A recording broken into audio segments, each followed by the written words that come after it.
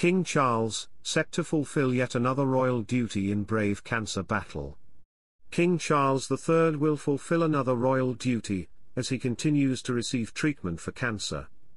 The King, alongside Queen Consort Camilla, will visit Jersey, one of the Channel Islands, next month just days after the monarch swears in the UK's new Prime Minister. The couple have planned a visit to the islands on July 15, according to Deputy Bailiff of Jersey Robert MacRae, who informed the States Assembly of the upcoming tour. The landmark visit is extraordinary for multiple reasons, being the first time since 2005 that a British monarch has visited Jersey, with Queen Elizabeth II having toured the area in nearly 19 years ago. Welcome to Royal Pancakes. If you are new here, please don't forget to subscribe and click the notifications bell, so you don't miss any news about the British monarchy. It is also another key duty the monarch is carrying out while receiving treatment for his undisclosed cancer.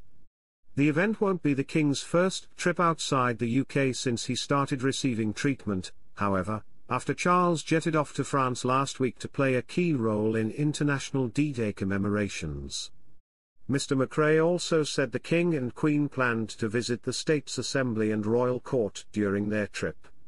They will leave for Guernsey on the 16th of July, the bailiff of Jersey's office said the visit would be primarily focused in St. Helier, the island's capital, with further details of the day's events to be shared at a later date. Jerry Kyd, the Lieutenant Governor of Jersey, told BBC News he was absolutely delighted about the King and Queen's visit, saying he was extremely proud of his island.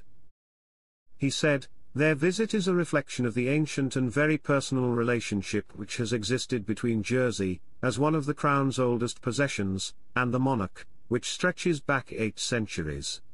As His Majesty's personal representative on this wonderful island, I am extremely proud of the island, and the enduring affection and loyalty of its people to the Crown. King Charles announced that he would return to public duties in April, not long after starting his cancer treatment. A Buckingham Palace spokesperson said Charles was greatly encouraged to be resuming his duties, and that he was very grateful to his medical team for their continued care and expertise.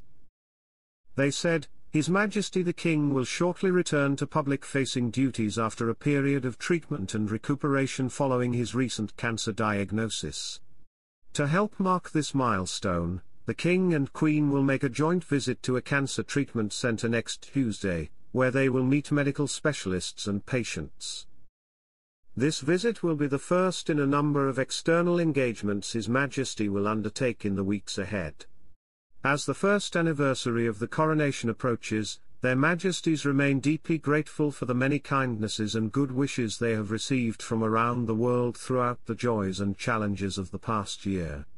King Charles fans took to social media to share their exasperation at the monarch being left to stand in the rain during the trooping of the colour salute today. The king saluted the Irish Guards in the rain during celebrations today, causing his admirers to worry for his health. It's a long old day for King Charles to stand in the rain tbh, one person wrote on the social media app X. Why is the king standing in the rain getting cold? Another person asked. He will get pneumonia. Get him in.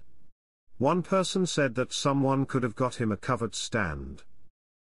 The king, 75, is undergoing treatment for cancer. During today's celebrations, he was seen riding in a carriage, not the same as his traditional use of horseback. He waved a gloved hand at supporters as the procession continued alongside the Queen, who was also seen waving.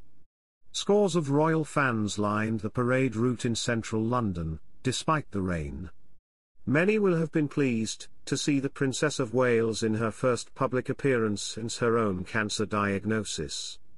In a video, Kate said, I'm looking forward to attending the King's birthday parade this weekend with my family and hope to join a few public engagements over the summer, but equally knowing I am not out of the woods yet. I am learning how to be patient, especially with uncertainty. Taking each day as it comes, listening to my body, and allowing myself to take this much needed time to heal.